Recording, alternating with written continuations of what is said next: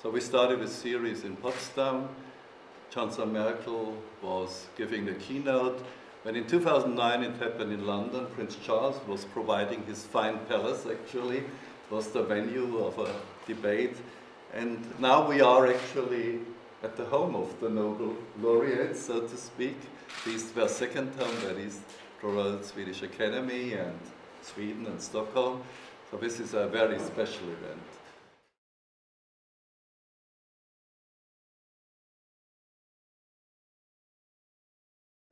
So, how's it going? Oh, actually, it was a very constructive and I have to say enjoyable morning. Uh, I mean, we have some of the brightest minds of this planet gathered here.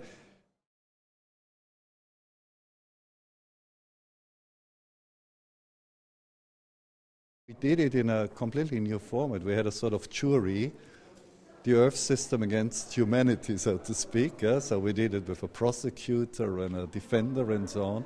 It was a new intellectual format, but it went really well. And in particular, the last round of comments was extremely constructive. But I also have to say the speech by the Crown Princess Victoria made a, a huge impression. Now, it is really to tell the politicians again of course, we understand that the game of politicians is, you know, how to organize majorities uh, and how to sort of survive within the system. But we will also tell them there are a few messages which you simply have to acknowledge.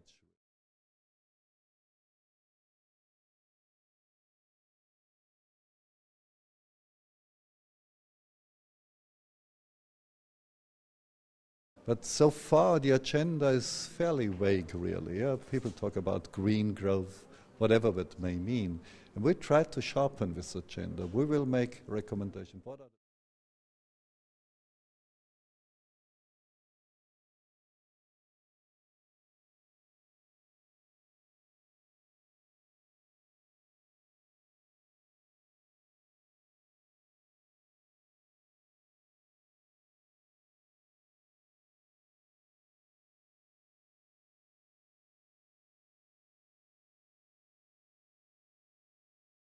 People doubt, in particular the public, scientific evidence. I mean, here, here where the Nobel Prizes are given away, yeah, this is in a sense the holy grail of reasoning, scientific reasoning.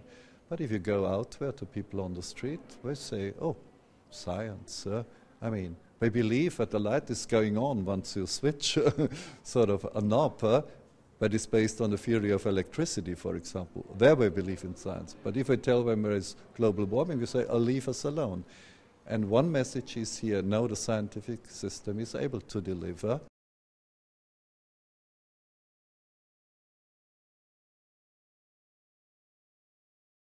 And my experience, because I have been advising the German government, also the British government for quite some time, the thing is, if you repeat the same message again and again and tell people both the inconvenient and the convenient truths, very often, finally they get it.